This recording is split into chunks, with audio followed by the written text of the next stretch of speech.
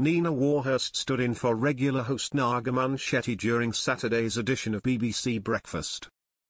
BBC Breakfast viewers witnessed a hilarious moment on Saturday morning when host Nina Warhurst couldn't help but burst into fits of laughter during the show. Alongside co-host Charlie Stayt, Nina detailed to their audience the underwhelming outcome of a Bridgerton-themed soiree stateside. As they dove into the segment, the presenters recounted how fans who had attended the much-anticipated event in Detroit were sorely let down. Charlie set the scene with, some US fans of the Netflix show Bridgerton have said they were scammed out of hundreds of dollars after they paid to attend a Bridgerton-themed ball in Detroit.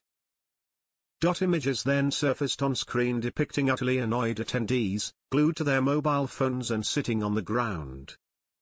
Finding the situation comically disappointing, Nina laughed while she remarked, well it looks wildly disappointing, it looks very opulent.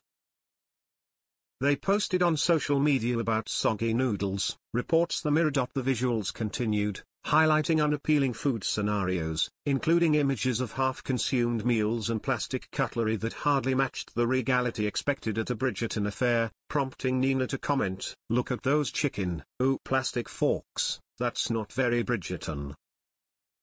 Furthermore, Nina reported that the organizer had given a statement to 7 News Detroit, acknowledging that the event failed to meet attendees' standards, confirming, the organizer of the event told 7 News Detroit that they understand not everyone had the experience they had hoped for and the company is working diligently to address all of those concerns. Dot Unable to contain her amusement, Nina again erupted into laughter, leading Charlie to respond playfully, that is quite funny isn't it? Whilst Nina struggled to regain her composure amidst the giggles. The duo swiftly turned to Matt Taylor for a ray of hope in the weather segment as Charlie lightened the mood, remarking, cheer us up, they need some cheering up.